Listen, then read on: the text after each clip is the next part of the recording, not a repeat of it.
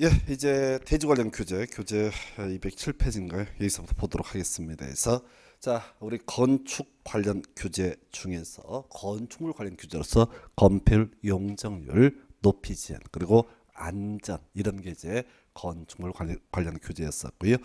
대신 이제 무조건 문제 구성되는 것이 대지 관련 교재. 여기서는 이제 거의 매년 뭐한두 문제 가까이 출제가 됩니다. 그래서 제일 먼저 출발점. 자, 1필지, 1대지 원칙부터 얘기가 시작이 됩니다. 그래서 하나의 필지, 하나의 대지를 보고 주된 건축물 한 개를 지을 수 있다. 이게 출발점이에요. 그래서 나온 얘기.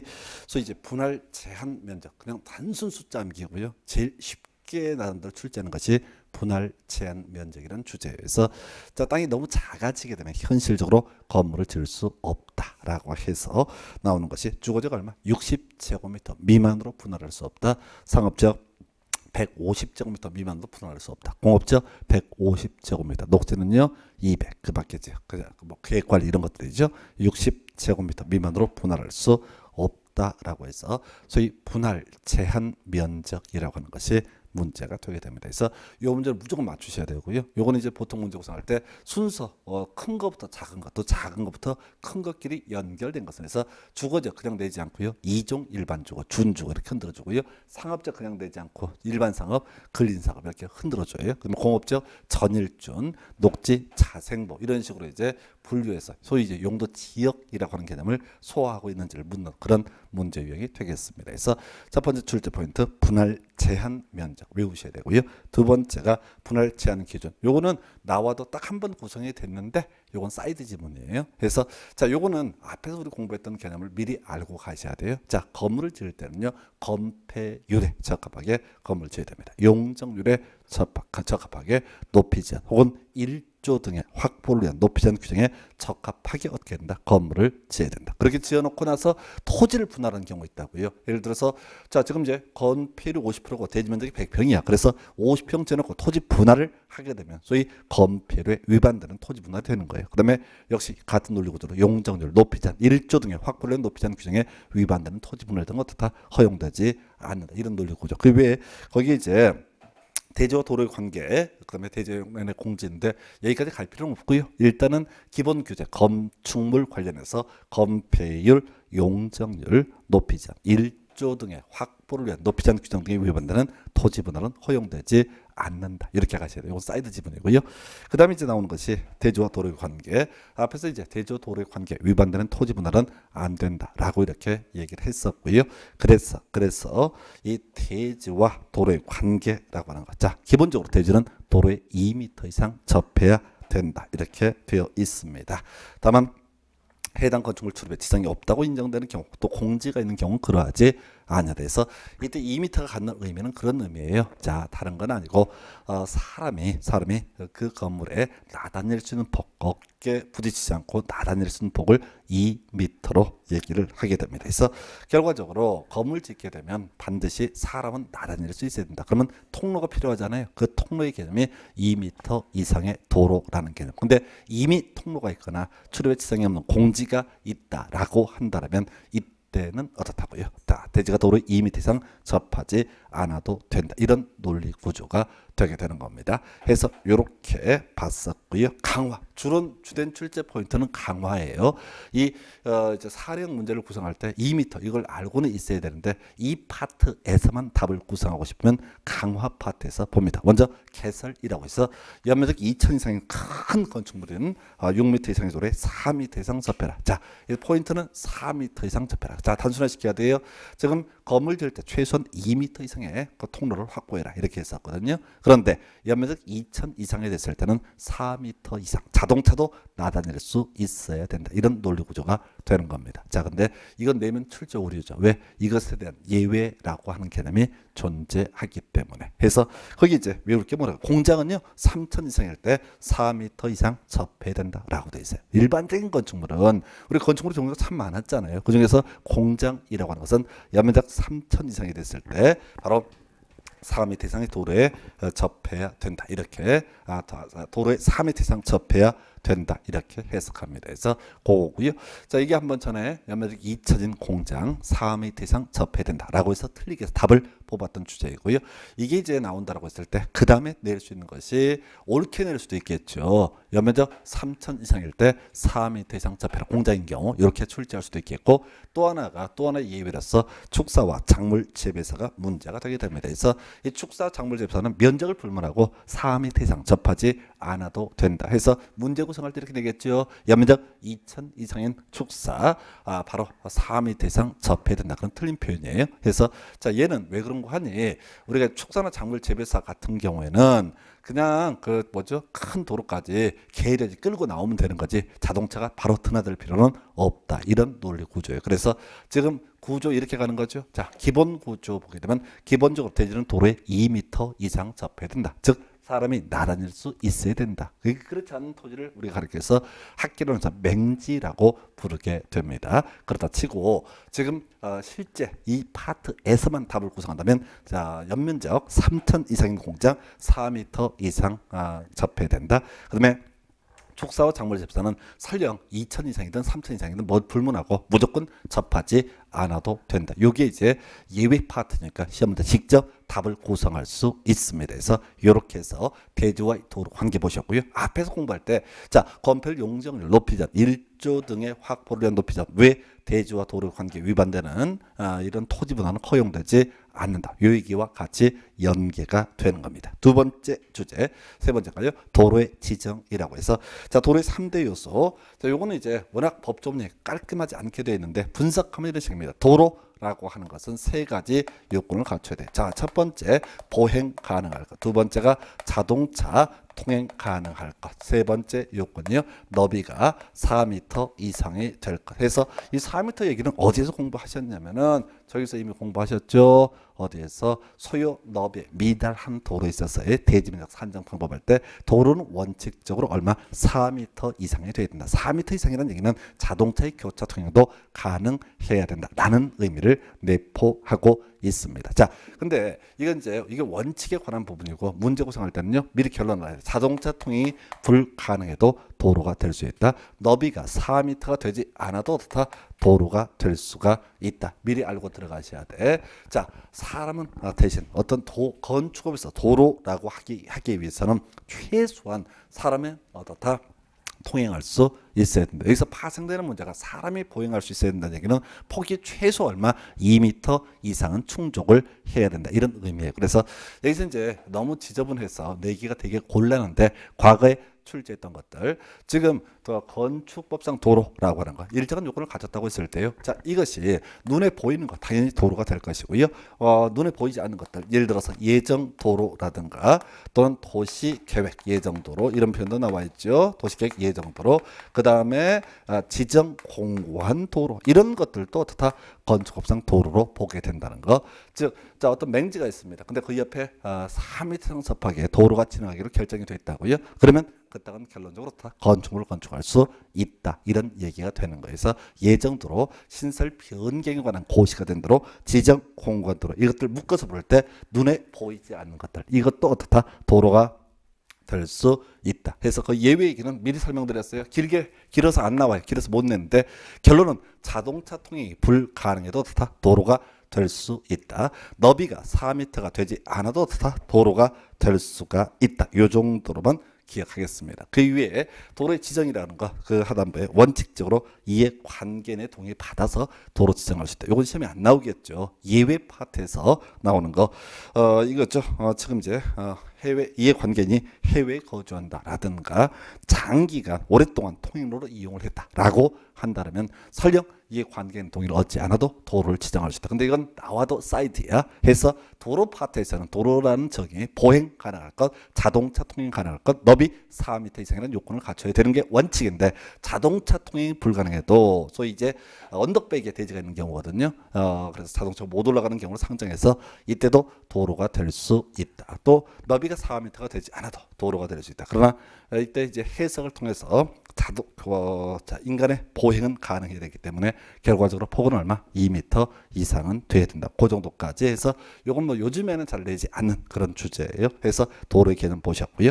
그다음에 건축선이라고 하는 거. 자, 이 건축선 얘기 어, 크게 이제 법정 건축선하고 지정 건축선을 구분을 하게 됩니다. 그래서 건축선이라는 개념은 그렇습니다. 건축 가능한 선이라는 개념을 가지고 있어요. 건축 가능한 선이라는 개념.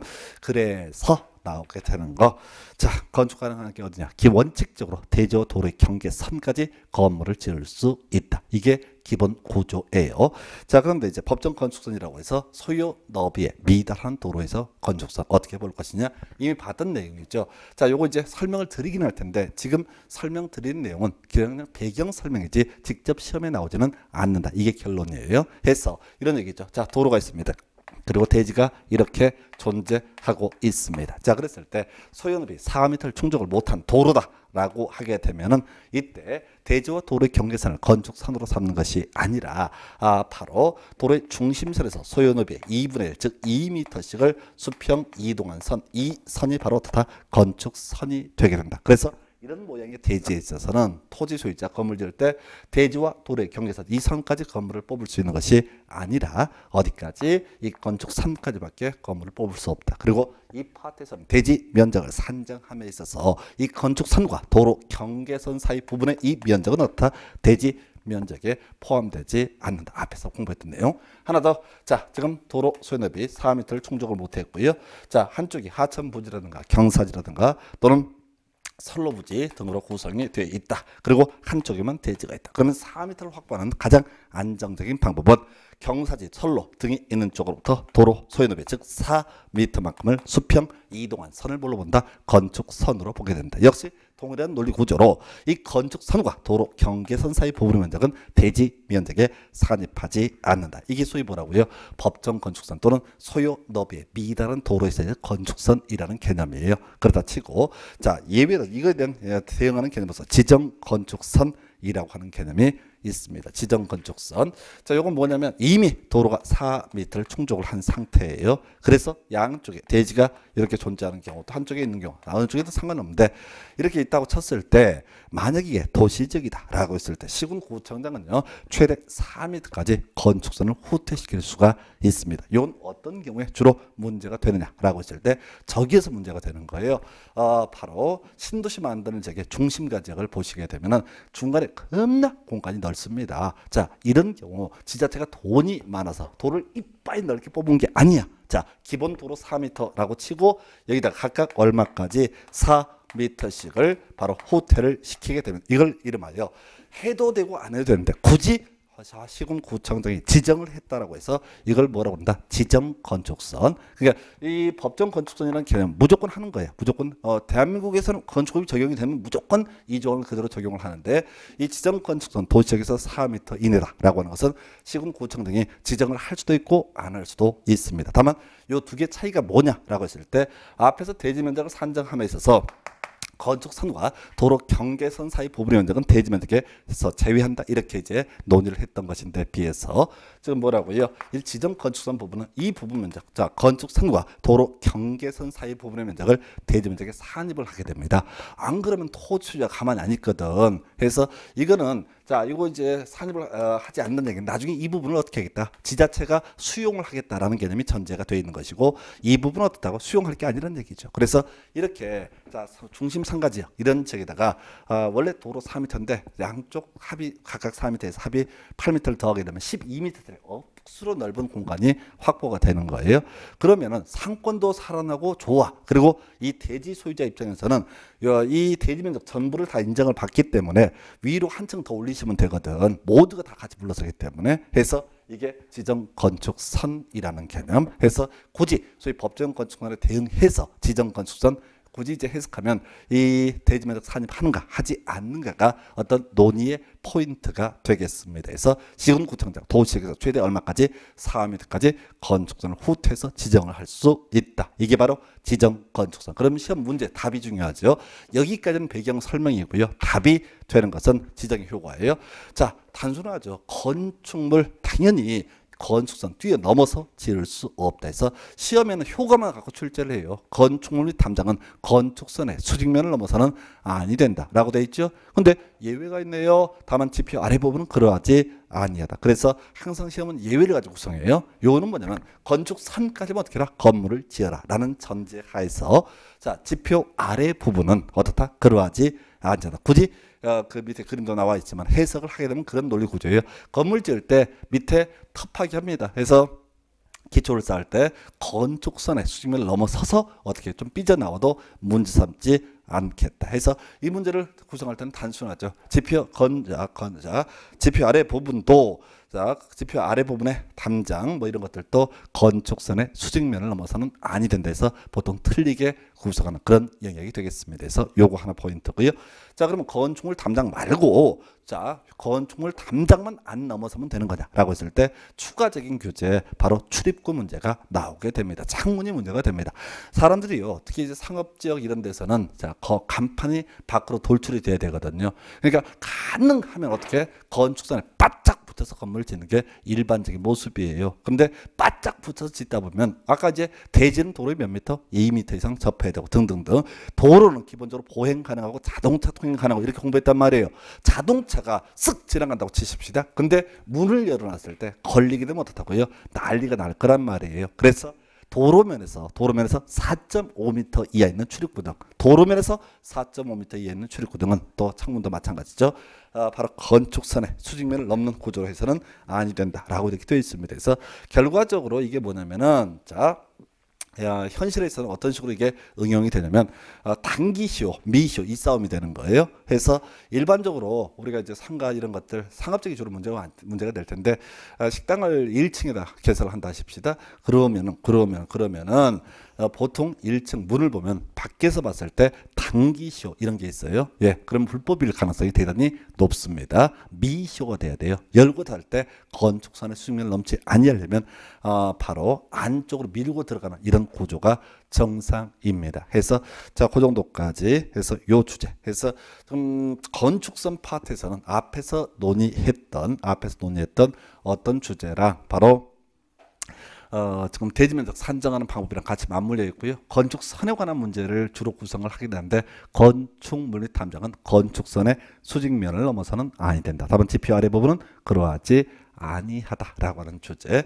또 하나 자 도로면에서 4.5m 이하 있는 출입구 등은 열고 닫을 때 건축선의 수직면을 넘어서는 아니 된다. 요 정도가 주된 논제 포인트에서 그렇게 어렵지 않은 주제 이렇게 보셨고요. 그다음에 이제 공개 공지라고 하는 거. 자 우리 지금 대지 관련 규제 이렇게 시작했습니다.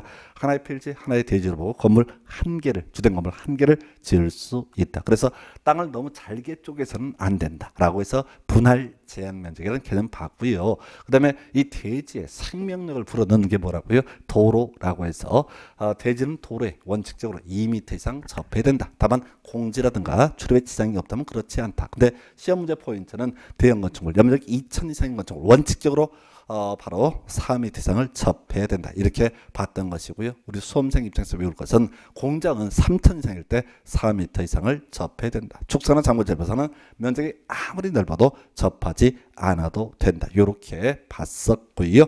그 다음에 이제 어, 도로의 지정 등 관련한 도로의 정의 보행 자동차 통행 너비 4m 이상 이런 요건하에서 자동차 통행이 불가능해도 도로가 될 수 있다. 너비가 4m가 되지 않아도 도로가 될 수 있다 등 뭐 이런 것들이 있었지요. 그리고 지금 이제 건축선까지 보셨고요. 이제 논의한 것, 남아 있는 것이 공개 공지. 이것도 겁나게 중요한 것 중에 하나예요. 통계적으로 참 많이 구성을 합니다. 자, 총 세 가지 가 출제 이슈 포인트가 되는 거예요. 그래서 이 공개 공지라고 하는 것은 우리 이제 부동산 학계론할 때 건폐율 등의 적용을 받아서 남아있는 빈 땅을 가리켜서 공지라는 용어를 쓰게 됩니다. 그래서 자 우리가 어, 어디에서 국토기획법 할 때 용도 지역별 건폐를 최대한다면 중심 상업지역이라고 할지라도 90% 이런 것들 공부하셨거든요. 이론상 최대치가 물론 자세한 사항은 조례를 통해서 규제로 이루어질 내용인데요. 그래서 이 공개 공제 제도는 그렇습니다. 논리 구조 자체가 낮 시간대, 낮 시간대 사람들이 아주 많이 모이는 지역에 있어서 인구의 집중을 유발시키는 그런 유형의 건물이다라고 했을 때 어, 사람들 좀 쉴 수 있게 긴 의자 등을 설치해 달라라고 하는 게 뭐라고요? 공개 공지 제도가 되겠습니다. 아, 긴 의자 등을 설치해서 사람들이 좀 쉴 수 있게 해달라는 제도가 공개 공지 제도가 되는 거예요. 해서 일단 첫 번째 출제 포인트 낮 시간대 사람들이 바글바글 모이는 용도직이 무엇이냐라고 하는 것 예, 상업직이 가장 대표적이죠. 상업지요. 그리고 두 번째가요. 뭐가 있냐면은 준주거지요. 그리고 준공업적 묶어서 가셔야 돼.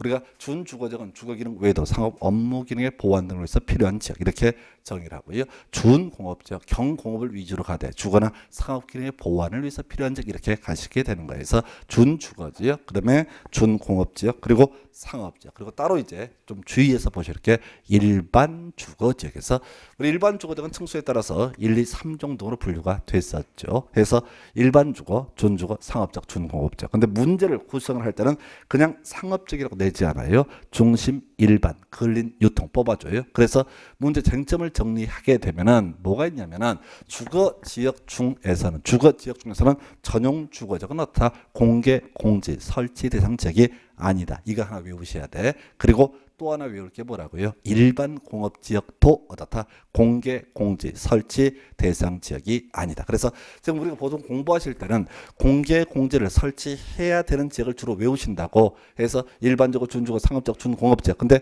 시험 문제는 어차피 공개 공지 설치 대상 아닌 걸로 고르시라고 나온다고요.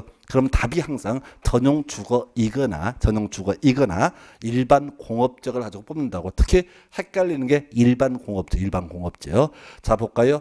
일반 주거는 공개 공지 설치 대상 지역에 해당이 됩니다. 그죠? 그 다음에 일반 상업지역도 상업지역의 일부니까 공개 공지 설치 대상 지역에 포함이 됩니다. 그런데 일반 공업지역은 어떻다고요? 거기에 포함되지 않아요. 그래서 일반, 일반, 일반 하니까 마치 일반 공업지역도 공개 공지 설치 대상 지역처럼 보인다고요. 그 주의하셔야 돼. 그래서 아예 이게 이제 이걸 이 문제를 어차피 객관식 문제를 구성할 때는 트릭 쓰는 게 뭐라고요? 전용 주거 지역 가지고 장난을 치거나 또는 일반 공업적을 가지고 장난을 친다. 미리 답 외우고 가셔야 돼. 세 개 줄줄줄 외우는 것도 하나의 방법이 되지만은 뭐라고요? 어, 저동 주거적이나 일반 공업적은 공개 공제가 아니다. 이걸 갖고 답을 내니까 요걸 외우는 것도 하나의 방법이 아닌가 싶습니다. 두 번째요. 대상 건축물 바닥 문제 합계 5천 이상의 건축물 중에서 일정한 건축물 나와 있어요. 요건 외울 수 없어요. 종류 다 외우면 머리 터져요.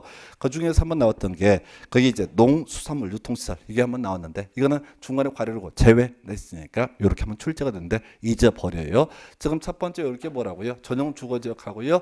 일반 공업적은 공개 공지 설치 대상이 아니다. 이게 첫 번째 출제 포인트. 두 번째요. 숫자예요. 자, 공개 공지 대지 면적이라고 하는 거 대지 면적의 100분의 10 이하에서 조례로 정한돼서 최대 얼마까지 10%까지를 조경 면적으로 자, 자 뭐죠? 공개 공지 면적으로 규정을 해놓고 있습니다. 그래서 그 뒤에 이제 조경 면적으로 대체할 수 있다든가 또는 원형 보존 조치 면적을 공개 공지 면적으로 대체할 수 있다. 중요치 않아요. 그래서 지금 이제 외울 게 뭐라고요? 10% 이하. 자, 20% 이하는 왜 10% 이하냐면 우리 공개공지 설치 대상 지역 중에서 상업적이 있었죠. 그 중에서 중심 상업적의 건폐율 최대한도 얼마? 90% 이렇게 돼 있었거든요. 그러니까 아, 이 90%라고 대응해서 최소 얼마가 남는다? 10%가 남으니까 해서 최대 바로 공개 공지 면적은 대지 면적의 100분의 10 이렇게 얘기를 합니다. 마지막 세 번째 암기하실 항목이요. 이렇게 공개 공 지를 설치를 하게 되면 어떤 효과가 있느냐라고 했을 때 용적률하고 높이 지연 1.2배까지 완화 적용할 수 있다. 그래서 두 가지 다 가셔야 돼. 첫 번째 숫자만 물어보는 문제에서는 1.2배 요거 물어보고요. 그리고 문제가 어렵게 구성이 된다라고 한다라면은 때는 뭐라고요? 건폐율 1.2배까지 완화 적용. 틀렸어요. 아까 공개 공지 면적은 대지 면적의 100분의 10 이렇게 얘기를 했었거든요. 만약에 건폐율을 완화 적용한다라고 한다면 중심 상업적은 기존의 건폐율이 이론상 90%가 갈 수 있는데 거의 더 완화시키면 공개 공지 면적하고 충돌하는 문제 발생하거든요. 그래서 용적률하고 높이 제한만 어떻다 1.2배까지 완화 적용을 할 수가 있다. 이렇게 얘기를 하게 됩니다. 이게 바로 뭐라고요? 공개공지. 그러면 외워볼까요? 공개공지 설치 대상. 아닌 것을 고르시오. 무조건 인 것만 법에 나와 있다. 그러면 아닌 걸 고르시오. 시험에 낸다고요. 그래서 답은 전용 주거지요. 혹은 일반 공업지역 요걸 답을 구성을 하고요. 두 번째 대지 면적이 100분의 10 그다음에 1.2 요건 숫자 넣기 문제로 구성을 하고요. 지문 구성할 때는 자 어, 공개공지 설치했을 때 용적률 높이지 않 1.2배 완화 적용을 해서 건폐율 1.2배 완화 적용한다 이렇게 장난을 칩니다. 그래서 총 세 가지 포인트 가지고 계속해서 우려먹는 구조 이게 공개공지 제도가 되겠습니다. 그 정도고요. 그 다음에 대지 안전. 자, 이 안전 파트는 별로 안 중요해요. 나오는데 답이 안 돼요. 그냥 읽고 날리시면 돼요. 한번 볼까요? 자, 대지는 인접한 도로 면보다 낮아서는 아니 된다. 라고 되어 있죠? 그래서 대지는 도로, 인접한 도로 면보다 낮아서는 아니 된다. 그래서 이건 뭐냐면은 자, 대지가 도로보다 낮게 되면 도로에 있는 빗물이 어디로? 대지로 다 흡수가 되게 되는 그런 문제가 발생됩니다. 그런데 어, 문제는 항상 예외가 나오죠. 건축물의 용도상 방습의 필요가 없고 또 배수의 지장이 없다라고 할 때는 이때는 인접한 도로면보다 낮아도 된다. 중요치 않아요. 얘는 나와도 답이 아니에요. 사이드 지문이고요. 두 번째 쓰레기 매립지 등 관련해서 습한 토지, 물이 나올 우려가 많은 토지 등등등 자 뒤에 성토, 지반 개량 등 필요한 조치를 하면 된다. 해서 요건 우리 저기죠 서울 지역에서 음. 난지도라고 하는 것이 있죠. 난지 옛날에 쓰레기 매립했던 그 장소. 거기 이제 노을공원, 하늘공원, 뭐 공원이 있거든요. 예, 거기 가면 화장실, 화장실, 화장실 건축물에 해당이 되거든요. 뭔 얘기인 거 아니에요? 쓰레기 매립지 등에 대해서도 어떻게 할 수 있다?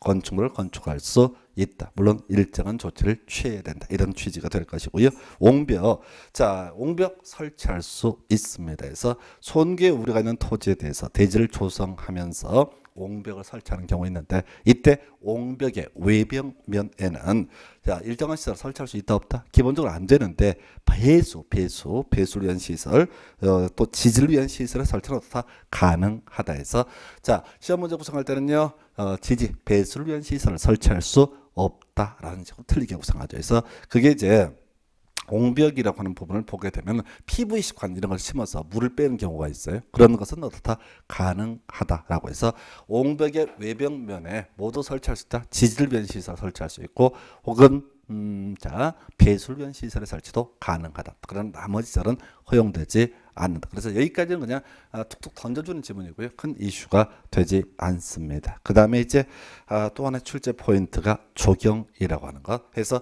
자 조경 얘기 한번 공부했어요. 어디서 얘기를 했었냐면은 기본적으로 대지면적 200 이상일 때 조경할 의무가 있다 등 얘기하면서 앞에서 허가 대상 가설 건축물이라고 하는 개념 설명드렸거든요. 이 허가 대상 가설 건축물 존치 기간, 존치 기간 얼마? 아, 바로 3년 이내. 그래서 다른 건 모르겠고 허가성 가설 건축물은 적용 의무가 없다. 요게 이제 적용 파트에서 주로 문제 구성이 되고 있고요. 거기 이제 적용 의무의 면제 사유가 쭉 나와 있고 또 그걸 이제 거꾸로 분석했을 때 필수적 적용 대상도 나와 있습니다. 해서 일단은 자 면제 대상 작년에 시험에 나왔었죠. 해서 어 요걸 이제 문제를 볼 때 용도 지역 기준하고요 건축물의 종류 두 가지 관점에서 생각을 하시면 좋습니다. 해서 첫 번째 항목이 용도 지역이죠. 자세히 볼 거 아니고요 주 상공은 어떻게 해라 적용을 해야 된다. 그럼 나머지 용도적인 녹지 관리, 농림차이환경 보호전적은 적용 의무가 면제가 되게 된다. 이렇게 가는 거야. 다시요. 자, 주상공원 사람이 많이 모이잖아요. 그러니까 자, 나 건물 지을 때 적용을 할 필요가 있다라고 되는 거고 거꾸로 가면 녹지나 관리 농림차이환경 보호전적은 적용을 할 필요가 없다. 외우는 순서가 그렇다고요. 기본 구조가 뭐라고요? 주상공원 적용을 할 의무가 있다. 이게 기본 구조예요. 자, 그런데 아, 용도적 기준 하나 보셨고요. 그리고 또 하나가 바로 건축물의 종류 기준을 봅니다. 거기 보니 2번에 뒤에 뭐 있어요? 물류시설 나와 있죠? 일단 갑시다. 물류시설은 어떻다? 적용 의무가 면제가 된다. 물류시설은 창고를 얘기하는 거예요. 그러면 공장 나와 있어요. 또 공장 나와 있고요. 공장 나와 자세히 보는 거 아니에요. 숫자 틀 쓰지 않아요. 자, 작년 문제에서는 공장 세 개 있죠. 그대로 딱 카피하고 기억, 니은, 디귿 해놓고 다음 주 적용 의무가 아, 면제되는 것끼리 연결하는 것 이렇게 문제 구성했다고. 그럼 사람들 숫자 자꾸 본다고. 해서 단순하게 정거 우리가 보면 창고 공장 어떻다 적용 의무가 없다 이렇게 가야 되는데 법에서는 물류 시설과 공장은 어떻다 적용 의무가 없다. 그럼 벌써 거의 다 커버한 거야. 물류 시설과 공장은 적용 의무가 없다라고 할 것이고요. 그 밑에 보니까 축사 나와 있죠. 축사는 뭐그 조경에서 뭐해? 개 돼지들한테 어, 나무 보여주면 애들이 고기가 찰지는 거냐? 그 아니란 얘기지. 그 외에 자, 따로 외울 게 뭐라고요? 허가 대상 가설 건축물. 이 가설 건축물이라고 하는 개념 이게 뭐라고요? 존치 기간 얼마? 3년 이내. 그래서 정리하십시다. 자, 요거 그냥 그냥 외우시는 거예요. 물류 시설, 공장, 축사와 작물, 어, 그다음에 허가 대상 가설 건축물은 어떻다? 적용 의무가 없다라고 얘기합니다. 이 얘기는 무슨 얘기냐? 설령 주상공 지역이라고 할지라도 이런 건축물의 종류에 대해서는 어떻다? 적용 의무가 없. 다라고 하는 거예요. 해서 이걸 이제 분석을 했을 때 이거에 대한 예외 등이 있다고요. 해서 주거적 상업적의 물류 시설 나와 있죠. 원래 물류 시설은 적용 의무가 없다고 그랬어요. 그런데 주거적 상업적 재해라고 돼 있으니까 결과적으로 주거적 상업적의 물류 시설은 다 적용할 의무가 있어요, 없어요? 있다 이렇게 하는 거죠. 면제에서 제외니까 적용할 의무가 있다. 있다라고 할 것이고 그다음에 지구 단위 계획구역도 무조건 적용을 해야 됩니다. 그래서 우리 국토계획 공부할 때 지구 단위 계획구역 아, 따로 개발하기 위해서 만들어 놓은 개념이죠. 해서 자 정리입니다. 적용은 정말 거의 2년에 한 번꼴로 출제가 돼요.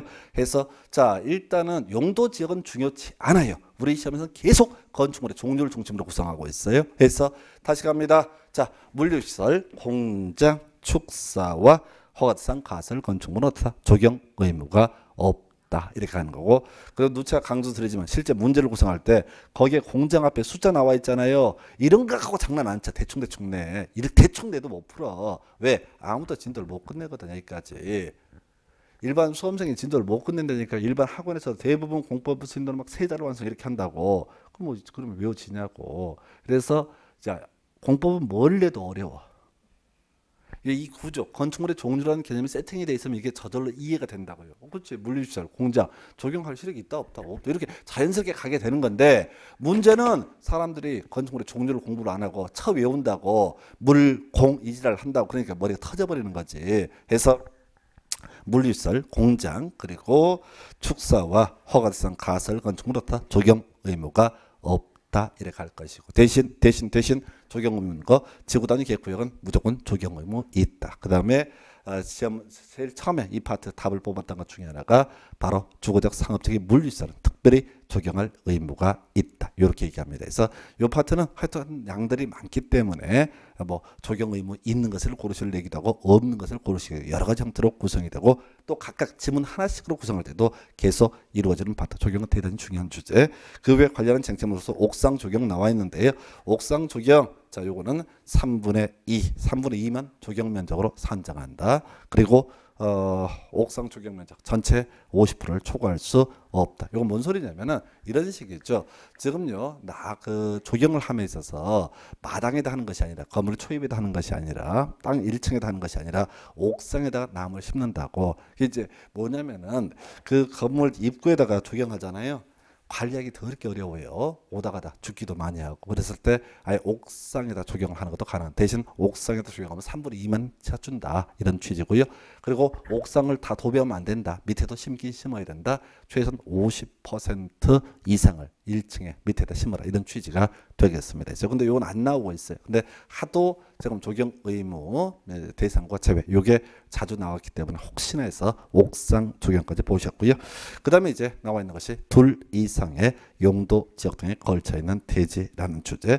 자 법정 구조를 보셔야 돼. 자 이 얘기를 하려면은 국토기획법 얘기를 다시 한번 기억을 해야 됩니다. 그래서 자 우리 국토기획법에서 이런 얘기 있었죠. 음. 하나의 대지가 둘 이상의 용도지에 걸쳐 있을 때 녹지 들어가면 각각 연면적 계산했던 것이고요. 녹지 없게 되면은 저희 가정 평균 용적률을 적용을 하게 된다. 이렇게 이제 공부를 했던 바가 있습니다. 그리고요 중요했던 게 뭐라고 하세요? 건축물이 미관지구에 걸려 있으면 대지 건축물 전부터 미관지구. 자, 이 건축법에서 이 조항 사실은 거의 사문화된 조항입니다. 이게 이제 국토계획법 내용이랑 거의 똑같기 때문에 사실은 국토계획법도 우선 적용을 하거든요. 근데 이게 이제 원래는 2002년도까지만 해도 건축법에서 건별 용적률까지 다 규제를 했었습니다. 그래서 그때 남아 있는 법의 흔적 유은인데 어, 거기 이제 원칙은 볼 필요가 없어요. 안 나오니까 원칙은 내는 순간 출제 오류거든요. 그래서 자 우리가 외울 게 뭐라고요? 녹지. 녹지는 무조건 어떻게 한다? 각각 적용을 하게 된다. 이렇게 할 것이고 이 문제 출제 포인트는 건축물이 미관 지구에 걸쳐 있는 경우. 여기 출제 포인트예요. 그래서 이 문제는 그냥 무조건 답이 정해져 있어요. 건축물이 미관 지구에 걸쳐 있을 때 대지 건축물 전부에 대해서 미관 지구에 관한 규정을 적용한다. 이것만 갖고 주구 창창 출제합니다. 이 문제는 무조건 옳은 것을 고르셔야 답이 되는 게 건축물이 미관 지구에 걸쳐 있을 때 대지 건축물 전부에 대해서 미관 지구에 관한 규정을 적용한다. 이렇게 출제한다고요. 아주 도배하는 문제 유형이 바로 이 주제예요. 건축물이 미관지구에 걸쳐 있으면 대지 건축물 전부 돼서 미관지구. 이걸 갖고 지난번에 그런 문제 나왔어요. 건축물이 취락지구에 걸쳐 있는 경우, 예, 그런 말 법에 없습니다. 예. 그래서 결국은 여러분들이 이제 공부를 하실 때 항상 답이 되는 것 위주로 공부를 하셔야 되고요. 시험 보시다가 듣도 보도 못한 말이 튀어나온다라고 하면 쌩 까야 돼요. 보통 모르는 점이 뜨게 되면 한 번 더 봅니다. 예, 골로 가는 지름길 되겠습니다. 그래서 시험이 어려워지는 이유는 그러니까 이런 식이죠. 자, 독도는 우리 땅, 뭐 이런 게 주제라고 하십시다. 근데 문제 구성할 때 갑자기 뭔 얘기를 하냐면, 자, 대마도는 영국 땅 이런 점이 튀어나온다고 미쳐버리는 거야. 대마도 공부한 적이 없거든. 그래서 이건 어딜까를 생각하는 순간 게임 끝나버려요. 그죠? 독도 어딨나를 찾아보실 것. 그래서 문제, 시험 문제라고 하는 것은 몇 개 답이 되는 주요 이슈들을 정확히 외우고 그걸 가지고 시험장 가셔서 내가 아는 게 어딨나 요걸 찾아보셔야 되고요. 제일 미련한 짓거리가 1번도 보고 2번도 보고 3번도 보고 뭐 보면 뭘 아나? 모르지? 모르지. 그 모르니까 좌절하면서 아 내년에 학원을 어디를 다닐까? 뭐 이러고 대가리 굴리고 그 머리가 아니라 대가리 대가리. 시험장에서는요 그저 아는 걸 찾아보는 게 그 실력이에요. 그래서 어, 건축물이 미 취락지구 걸쳐있는 이런 엽기적인 질문이 나왔을 때 고민합니다. 와 이게 공부선 이걸 안 가르쳐 줬구나. 아니 그걸 어떻게 가르쳐 주냐고 말도 안 되는 얘기를 던지는데 그래서 공법 문제 특징 중에 하나가 이렇게 말도 안 되는 얘기가 툭툭 던질 때가 있단 말이죠. 거기서 자유로워지려면 방법은 한 가지밖에 없어요. 지문 다섯 개를 쓱 보는 거야. 그리고 외웠던 거 어디 있나? 내가 봤던 지문 익숙한 지문이 어디 있나? 그래서 공부할 때는 계속 무식하게 건축물이 미관지구에 걸쳐 있으면 대지 건축물 전부에서 미관지구 근데 또 공부하다 보면 헷갈려. 미관지구만 외우라고 했는데 국토계획 보면 그런 말도 있어요. 건축물이 고도지구에 걸쳐 있을 때 대지 건축물 전부에서 고도지구에 관한 규정을 적용한다. 이런 게 있다고. 그거 안 나와. 그저 지금까지 시험 문제는 미국 토계획법이 됐든 건축법이 됐든 끊임없이 구성하고 있는 게 뭐라고요?